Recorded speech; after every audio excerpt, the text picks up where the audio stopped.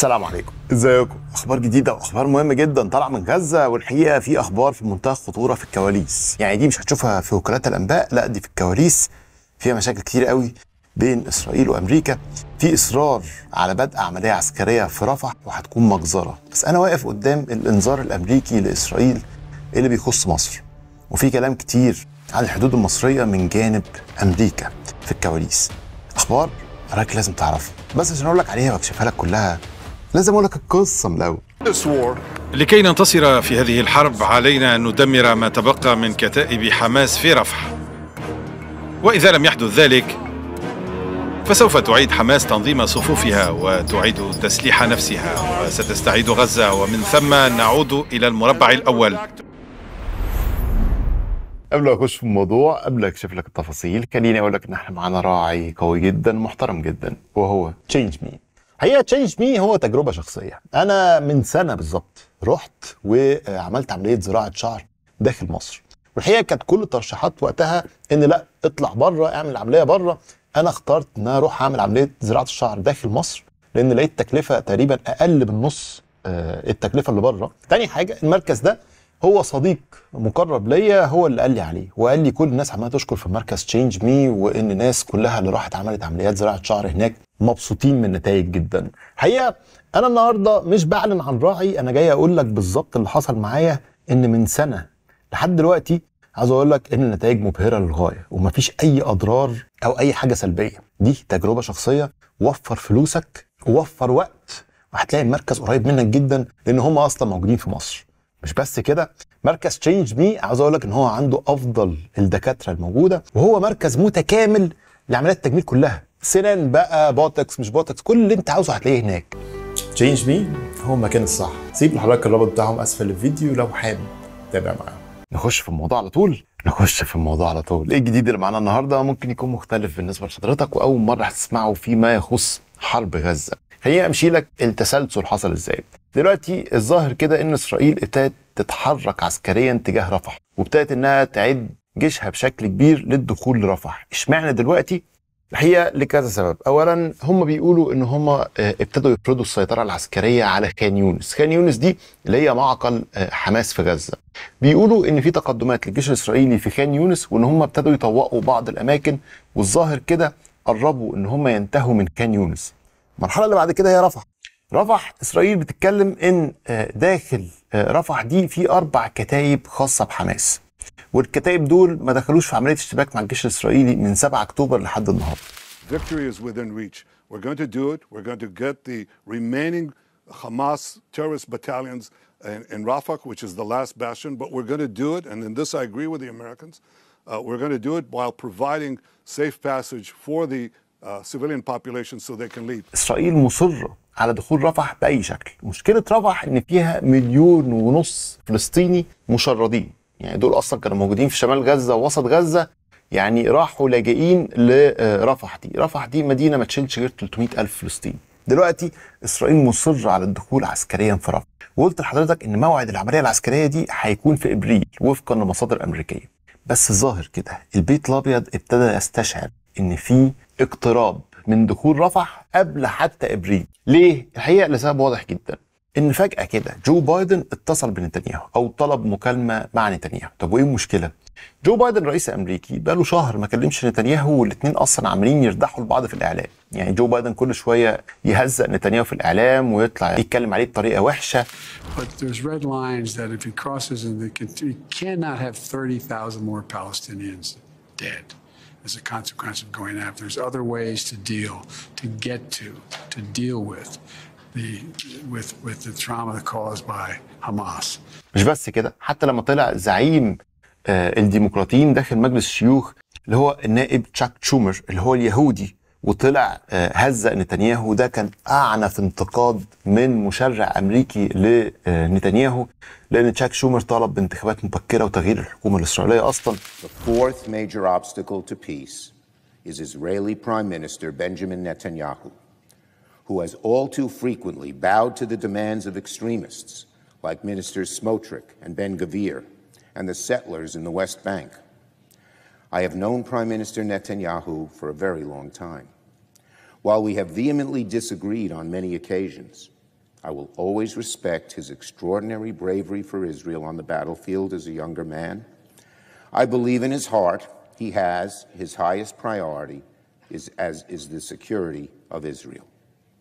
However, I also believe Prime Minister Netanyahu has lost his way by allowing his political survival to take the precedence over the best interests of Israel. وطلعت إسرائيل تقول إحنا مش في جمهورية الموز. وحتى على فكرة نتنياهو لما طلع رد على تشاك شومر طلع رد بنفس الكلمة دي قال إحنا مش جمهورية موز. يعني إيه آه، نشيل رئيس الوزراء الإسرائيلي فجأة كده؟ إحنا مش كده يعني. في انتخابات وإحنا جايين بشرعيه والكلام ده كله ما ينفعش ان إحنا نمشي I think what he said is totally inappropriate. Uh, it's inappropriate for uh, uh, to go to a sister democracy and try to replace the elected leadership there. That's something that Israel, the Israeli public, does on its own. And we're not a banana republic. فلما طلع النائب تشاك شومر وشتم نتنياهو عاوز أقول لحضرتك ان جو بايدن رحب بالخطاب بتاع تشاك شومر ده وقال خطاب جيد Senator Schumer's speech on uh, Israel yesterday? Senator Schumer uh, contacted my staff, my senior staff. He's going to make that speech, and uh, he. Uh, I'm not going to uh, elaborate on the speech. He made a good speech, and I think he uh, expressed a serious concern, shared not only by him but by many Americans. اما على الجانب الآخر نتنياهو لما بيصف الرئيس الامريكي ما بيكلمش الرئيس الامريكي نتنياهو بيحاول ان هو يكلم الرئيس الامريكي في وسائل الاعلام يعني بيطلع في القنوات الامريكيه ويشرح موقفه انما ما بيكلمش الرئيس الامريكي Well, I don't know exactly what the president meant. But if he meant by that that I'm pursuing private policies against the majority, the wish of the majority of Israelis, and that this is uh, hurting the interests of Israel, then he's wrong on both counts. Number one, these are not my private policies only. They're policies supported by the overwhelming majority of the Israelis. الوضع ده كان بقاله شهر في تطور لافت للعلاقات الأمريكية الإسرائيلية يعني واضح جدا الخلاف أو عدم التفاهم بشكل كبير الأوضح إن الظاهر كده أمريكا ما عندهاش ما تقدمه لإزالة نتنياهو أو حتى تغيير الحكومة الإسرائيلية أو حتى إيقاف عملية رفح واضح جدا إن أمريكا كل اللي بتعمله مجرد إن هي بتنتقد إسرائيل اعلاميا خارجيا فقط وفجأة كده تواصل جو بايدن مع نتنياهو. وعاوز أقول لحضرتك إن المكالمة دي لها كواليس وأسرار مهمه جدا. ليه؟ لأن خلي بالك بعد المكالمة طلع الأمريكان وقالوا والله إحنا طلبنا من آه، نتنياهو إن هو يرسل وفد للبيت الأبيض للتشاور. وفد رفيع المستوى أما على الجانب الآخر نتنياهو لما طلع يعلق على المكالمة قال لك أنا أصريت وأوضحت موقفي تماما إن ما ينفعش ما نخش رفح هنخش رفح وهنحقق كل أهدافنا العسكرية. ففي اختلاف. آه، بيت الابيض بيتكلم على حاجة ونتنياهو بيتكلم على حاجة والاثنين بيصروا إن هم انتصروا في المكالمة. طب إيه الكواليس؟ الكواليس يا سيدي إن البيت الأبيض قاعد يدرس اقتراح هيتم إلقائه في المكالمة دي. الاقتراح ده على حسب موقع Axios هو إن جو بايدن هيفاجئ نتنياهو يقول له إرسل وفد آه، للتشاور. بخصوص عملية رفح دي. على فكرة اقتراح الوفد ده ما كانش موجود قبل المكالمة وما كانش الأمريكان عرضوه على إسرائيل. لا هو جو بايدن فاجئ بيه نتنياهو في وسط المكالمة وده اللي قالته موقع أكسس إن نتنياهو اتفاجئ وكان رد فعله سريع وقال له موافق عشان ما يحاولش يدخل في صدام معاه بشكل علني. أكتر من كده وما يسوقش العلاقة الأمريكية الإسرائيلية أكتر من كده. فنتنياهو وافق إن هو يرسل وفد لأمريكا. طب مين رايح بالوفد ده؟ الحقيقة اللي رايح الوفد ده مسؤولين دبلوماسيين مسؤولين عن منظمات إنسانية. ووزير الدفاع الصهيوني ياوف جالانت. خلي بالك اللي بقوله لك ده لسه نازل حالا. يعني قبل كده ما كانش إسرائيل موضحة هترسل مين لأمريكا. بس الأمريكان بيقولوا لك إن الحركة دي هتؤدي لتأخير العملية العسكرية. ده اولا. تاني حاجة هتؤدي إن أمريكا هتعرض على إسرائيل بدائل عن اجتياح رفح أما على الجانب الآخر نتنياهو شايف الموضوع إزاي؟ نتنياهو شايف إن هو هيرسل وفد للأمريكان عشان يسمع منهم يعملوا إيه في المليون ونص فلسطين. هو عاوز يسمع منهم خطط إنسانية فقط. إنما مش هيودي لهم وفد عشان يتراجع عن عملية عسكرية. كل واحد عاوز يكسب نقطة. الحاجة التانية لما تيجي تبص على طلب أمريكا بإرسال وفد آه، رفيع المستوى من إسرائيل آه، لأمريكا لازم تعرف إن الطلب ده يمثل العجز على عدم قدرة أمريكا على إيقاف العملية العسكرية. فقال لك والله نطلع بفكرة إن إحنا عاوزين وفد. وطول ما الوفد ده موجود في أمريكا لازم تعرف إسرائيل هتبقى آه، يعني مشلولة ومش هتعرف تقوم بعملية عسكرية. الصهاينة أذكياء شوية. ليه؟ لأن خد بالك الصهاينة مش باعتين مسؤولين عسكريين كبار. هم باعتين وزير الدفاع فقط ومعاه بعض من المساعدين. بس الصهاينة وفقا للاعلام الإسرائيلي بيقولوا إن الضباط اللي عندهم رتب مرتفعة أو ضباط كبار مش هيتواجدوا في الوفد ده. ما يعني إن أول ما المفاوضات دي تخلص ممكن إسرائيل تجتاح رفح أو تبقى قادرة على القيام بعملية عسكرية سريعة. لأن المسؤولين الإسرائيليين الكبار اللي بيشرفوا على العمليات العسكرية هيكونوا آه، موجودين في إسرائيل مش موجودين في أمريكا. فده اللي إسرائيل بتحاول تعمله. طيب إيه اللي هيحصل بالظبط؟ اللي هيحصل إن الأمريكان هيعرضوا خطط عسكرية بديلة عن آه، اجتياح رفح. إزاي؟ الأمريكان بيقولوا إن هم هيعرضوا إن هم بالمناقشة مع المصريين هيبتدوا بتأمين الحدود المصرية الاسرائيليه إزاي؟ هيجوا عند محور فيلادلفيا كده ويبتدوا إن هم يدرسوا التربة بشكل جيد جدا ويبتدوا يدرسوا لو في أنفاق يشتغلوا مع المصريين إن هم يدمروه. عوضا عن عملية عسكرية لاجتياح رفح مش أنت اللي أنت عاوزه ده إن أنت تأمن حدودك مع مصر؟ طيب إحنا نشتغل مع المصريين إن إحنا نأمن المنطقة دي بشكل كويس جدا وإن ما يبقاش فيه أنفاق وأمريكا نفسها هي اللي هتضمن لك كده. الاقتراح ده هيوافق عليه نتنياهو؟ ابدا. النهارده نيويورك تايمز طلع تقول إن نتنياهو لن يتراجع عن عملية عسكرية في رفح. بأي شكل كان. حضرتك لازم تعرف برضو من كتر مشاحنات بين آه، نتنياهو وجو بايدن ترامب استغل الفرصة دي. ترامب طلع قال أنا لو رئيس أمريكا هقول لإسرائيل خلصي على طول. يعني انجزي بقى. خش يا عم رفع عاوز تخش رفع خش رفع. وخلص بسرعة. ما تقعدش تاخد وقت كبير خلص بسرعة. ودونالد ترامب طلع قال تصريح كان مثير جدا. قال أي يهودي بيصوت للحزب الديمقراطي لازم يعرف إن اليهودي ده بيكره دينه. الديمقراطيين مش بيحبوا إسرائيل الجمهوريين هم اللي بيحبوا إسرائيل. التصريح ده على فكرة عمل أزمة لدونالد ترامب لأن ما معناه إن كل اليهود اللي بيأيدوا الحزب الديمقراطي هم مش متدينين خرجهم بره الملة. ده حاجة. الحاجة الثانية حضرتك لازم تعرف إن أغلبية اليهود تبع الحزب الديمقراطي. بس دونالد ترامب بيستغل الوضع. نتنياهو بيمشي على عوم آه، دونالد ترامب لأن نتنياهو هيلقي خطبة على الحزب الجمهوري النهارده. virtual call يعني آه، مكالمة عن طريق الإنترنت. يعني هيكون قاعد في إسرائيل وبيتكلم عن طريق فيديو آه، للحزب الجمهوري اللي هو تبع دونالد ترامب. فبرضه في استغلال للموضوع. طب ليه الكلام ده مهم بالنسبة لك؟ وليه التطورات دي ممكن تكون فارقة في الحرب بشكل كبير؟ لأن الكلام اللي هقوله لك ده خطير شوية. اولا طلع جيك سوليفان جيك سوليفان ده هو الراجل الأول في البيت الأبيض ده يا باشا اللي بيحط خطط العسكرية وده اللي بيهندس لكل حاجة في البيت الأبيض ده أقوى راجل في البيت الأبيض طلع قال إن جو بايدن قال لنتنياهو اجتياح رفح خطأ First, more than a million people have taken refuge in Rafah. They went from Gaza City to Khan Yunis and then to Rafah. And they have nowhere else to go. Gaza's other major cities have largely been destroyed. And Israel has not presented us or the world with a plan for how or where they would safely move those civilians, let alone feed and house them and ensure access to basic things like sanitation. وقال بالظبط كده قال ان آه، اجتياح رفح هيؤدي لتعليق التفاهمات مع القاهره ما معناه ان ممكن العلاقات بين اسرائيل ومصر تقف يعني ما يبقاش في حتى تواصل الاثنين يوقفوا العلاقات ما يضر بعمليه السلام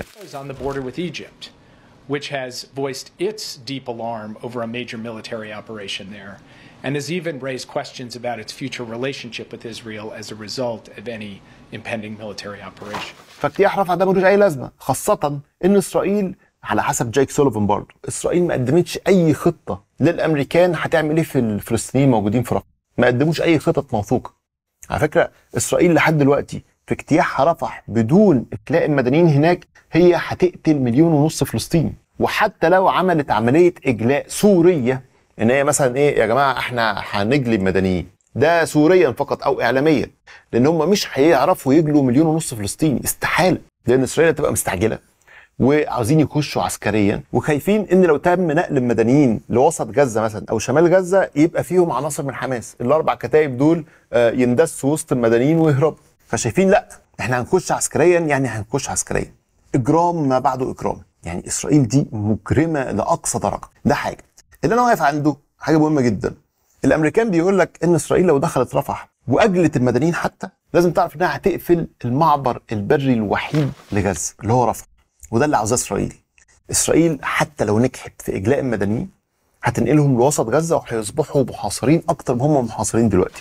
وفرصة آه، إلقاء بقى عمليات من الجو آه، عمل آه، ميناء بحري الكلام ده كله ما بيجيبش نتيجة. لازم يبقى في معبر بري. معبر بري إسرائيل هتقفله. ما معناه إنها هتجوع مليون ونص فلسطيني أكتر ما هم على شفا مجاعة لا هيبقى في مجاعة مجاعة بقى. غزة على شفا مجاعة غير مسبوقة والتحذيرات من سيناريو قاتم تنهال من كل جانب. آخرها من الأمم المتحدة التي أكدت أن المجاعة في القطاع أصبحت شبه حتمية. فالفلسطينيين دول لو ما ماتوش بعملية عسكرية من كتر القصف والاجتياح البري هيموتوا بعملية مجاعه لأن هيتم إغلاق رسميا معبر رفح بشكل كبير. هتيجي تقول لي طب ما معبر رفح مقفول؟ لا أنا بقول لحضرتك دلوقتي في نسبة للتفاوض. إسرائيل ممكن تسمح ببعض الشحنات وبعض الشحنات لا إنما بنقل الفلسطينيين لوسط غزة ده لو عملوا كده يعني هم بيقتلوهم رسميا. فدي رؤية الأمريكان للعملية العسكرية. وبالمناسبة لما نتنياهو طلع صرح للتلفزيون الأمريكي أو بعض القنوات الأمريكية وقال لهم كل اللي بيطلبونا إن إحنا ما نخشش رفح بيطلبونا بالهزيمة أو إن إحنا ما نحققش أهدافنا العسكرية جو بايدن طلع قال ردا على الكلام ده قال لهم nonsense يعني ده مش عقلاني أصلا الراجل بيقول أي كلام. لكي ننتصر في هذه الحرب علينا أن ندمر ما تبقى من كتائب حماس في رفح. وإذا لم يحدث ذلك فسوف تعيد حماس تنظيم صفوفها وتعيد تسليح نفسها وستستعيد غزة ومن ثم نعود إلى المربع الأول. وهذا تهديد لا يطاق ولا يمكننا قبوله. سندمر حماس ونطلق سراح الرهائن لديها ونضمن أن غزة لن تشكل تهديدا لإسرائيل مرة أخرى. يعني إيه عاوز تخش مدينة فيها مليون ونص فلسطيني عشان تخش تقضي على أربع كتائب؟ إيه الأربع كتائب دول؟ فرئيس أمريكا نفسه بيقول لك الكلام ده أي كلام. فده اللي بيتضح. طب هل في إجراءات على الأرض؟ الحقيقة موضوع تأثير الأسلحة الأمريكية لإسرائيل ابتدى يظهر بشكل كبير. ليه؟ لأن طلع مسؤول كبير. يعني خد بالك قبل كده إحنا كنا بنتكلم على تكهنات أو تصريحات من مسؤولين إسرائيليين صغيرين. دلوقتي وفقا لصحيفة إسرائيل هيوم وتايم أوف إسرائيل إن في مسؤول عسكري إسرائيلي كبير. علق على شحنات الأسلحة الأمريكية لإسرائيل ابتدت تتأخر. يعني إيه تتأخر؟ قال لك والله الأمريكان ابتدوا يحطوا بعض من البيروقراطية يعني إجراءات بقى حكومية وموافقات والكلام ده كله ما يؤدي لتأخير الأسلحة الأمريكية لإسرائيل. وإحنا ابتدينا نلحظ ده في إسرائيل. يعني هو المسؤول بيقول لك إحنا ابتدينا نلحظ ده الأسلحة بتتاخر وال Times of Israel بتعلق. بتقول لك من بداية الحرب لحد دلوقتي إسرائيل استقبلت 300 طيارة 50 سفينة واستقبلت 35 ألف طن أسلحة أمريكية. بس واضح جدا إن الأسلحة دي كوم.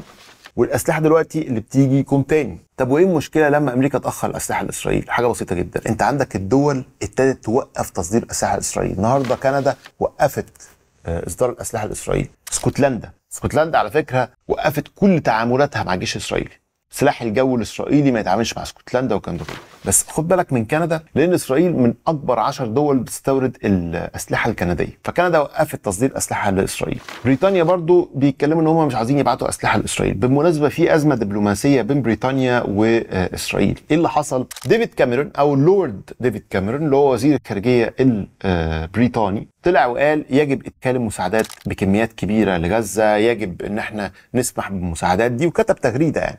رد عليه متحدث باسم الحكومة الإسرائيلية باللغة الإنجليزية اسمه إيلون ليفي ورد عليه في التغريدة وقال له على فكرة إسرائيل بتسمح بكل الطعام والشراب نسمح بكل حاجة. الحقيقة البريطانيين اعتبروا إن المتحدث ده بيهاجم ديفيد كاميرون. أنت ما ينفعش تعلق عليه أصلا. يعني ما ينفعش إن أنت تفسر حاجة هو الراجل بيقولها. فبريطانيا طلبت من إسرائيل إن إيلون ليفي ده يتم إزالته بالفعل. الحكومة الاسرائيليه جمدت إيلون ليفي وقاعد في بيته لحد دلوقتي وفقا لصحيفه الديلي ميل البريطانية طلعوا قالوا كده ونقل منهم الإعلام آه الإسرائيلي كده برضه.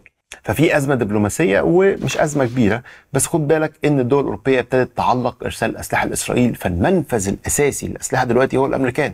فالأمريكان لما ياخروا الأسلحة دي إشارة مهمة جدا إن إسرائيل ممكن تخسر الحرب. أو ده اللي بيدعيه الصهاينه ليه؟ لأن خد بالك ممكن أمريكا ما تكونش بتأخر الأسلحة ولا حاجة بس إسرائيل بتضغط اعلاميا خوفا من الأسلحة فعلا تتأخر فبيسبقوا الناس. يعني الناس جاي يقول لك إيه آه، ده بيأخروا الأسلحة علينا. ممكن الأسلحة ما تأخرش بس هو عاوز يوصل المعلومة دي للإعلام الأمريكي عشان ما يبقاش فيه تأخير أسلحة. ممكن. لأن الأمريكان طلعوا نفوا وقالوا إحنا ما بنأخرش حاجة. يعني أنتوا ليه مصرين إن إحنا بنأخر أسلحة؟ إحنا ما بنأخرش حاجة. حاجة تانية دلوقتي حضرتك لازم تعرف إن في ضغوط كبيرة جدا من أهالي الاسرى إن هم بيحاولوا يقطعوا الطرق بيحاولوا إن هم يصعدوا بأي شكل لاستعادة الاسرى طب هل إسرائيل عندها نية لاستعادة الاسرى الحقيقة نتنياهو بعد ما قال أكتر من مرة إن هو صدق على عملية عسكرية آه، لاجتياح رفح هو بعت وفد لقطر. الوفد ده فيه رئيس المخابرات الإسرائيلية ديفيد بارنيه وتم استعادة التفاوض تاني مع أعضاء حماس في قطر. بس المفاجئ تايم اسرائيل النهارده بتقول لك إن ديفيد بارنيه رئيس الموساد مشي من الدوحة فهل معنى كده إن المفاوضات وقفت؟ الحقيقة المفاوضات ما وقفتش هي شغالة على مستوى أقل شوية. بس دي إشارة إن المفاوضات ممكن ما تنجحش. حتى المسؤولين القطريين طلعوا قالوا أو أبدوا تفاؤلهم نوعا ما بالمفاوضات دي بس قالوا إن ده تفاؤل حذر لأن ممكن ما تحصلش آه، هدنة في الآخر وما يوصلوش لهدنة. القصة كلها إن إسرائيل عاوزة الاسرى وتكمل الحرب. حماس بتقول هتفرج عن الاسرى لو الحرب وقفت. هو ده القصة كلها. فالموضوع صعب. اللي أنا عاوز أقوله في النهاية إن على حسب جريدة نيويورك تايمز واضح جدا إن إسرائيل مصرة على اجتياح رفح بأي شكل. عشان بقى تغطي على المشاكل الداخلية عشان تغطي على الخسائر البشرية بتاعتها والخسائر العسكرية. بس كل ما إسرائيل هتصر على الموضوع ده لازم تعرف إنها بتهدد العلاقات مع مصر بتهدد سينا بشكل كبير لأنها مش هتعرف تجلي المدنيين دول كلهم وبعض المدنيين دول ممكن يخشوا لسينا أو يتسللوا لسينا بشكل أو بآخر وده اللي بتحذر منه مصر. الرئيس المصري طلع أكتر من مرة وحذر الموضوع ده برغم كده إسرائيل مصرة. لقد حذرت مصر مرارا من الخطط الإسرائيلية لجعل الحياة في قطاع غزة مستحيلة كما تحذر مصر أيضا من المخطط الإسرائيلي لشن عملية عسكرية برية في مدينة رفح الفلسطينية. بما يهدد حياة ما يزيد على واحد ونصف مليون نازح تتحمل إسرائيل مسؤولية حمايتهم وفقا لقواعد القانون الدولي. وإسرائيل تقريبا هي دولة حاليا الوحيدة في العالم اللي عاوز تخش رفح. يعني محدش بيساند نتنياهو في العملية دي خالص. برغم كده إسرائيل مصرة. أخيرا وليس أخيرا حضرتك لازم تعرف إن الحرب ما انتهتش. الحرب ما زالت شغالة. الحرب نتنياهو مصر عليها بأي شكل؟ بس مصر لازم تبقى حذرة جدا من موضوع اجتياح رفح ده لأن دي مجزرة مجزرة بحق الفلسطينيين. في الآخر يا رب اكون شرحت لحضرتك الموضوع بشكل مبسط. ويا رب ينصر مصر رب ينصر العرب ويا رب ينصر فلسطين يا رب. تحيا مصر سلام.